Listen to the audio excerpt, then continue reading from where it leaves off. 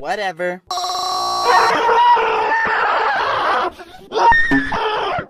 Is this what you want, huh? Is this what you want a total meltdown? Do you like kombucha? I love Oh, my snowstorm! Toad's actually struggling!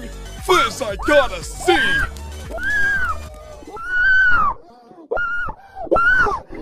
Something's happening. What's going on? I'm scared.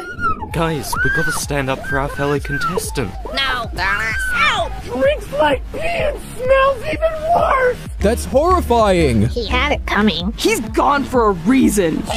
Oh my God. What the fuck is this? No more saying cuss words, guys. It's inappropriate and violent. If you say a cuss word, you're like going to jail. And like when you go to jail, it but when you go to jail, if you say if you say a cuss word, you go to jail. And when you go to jail, you said a cuss word, then you're only going to eat broccoli and other vegetables for your whole life. You don't want to eat vegetables. Some people like eating sweets, but I like broccoli, so ah. I'm okay with broccoli, but I do not want to go to jail. And you do not want to go to jail. And saying cuss words is illegal. They're going to make a new law about that. It is illegal. It is inappropriate. It is really violent.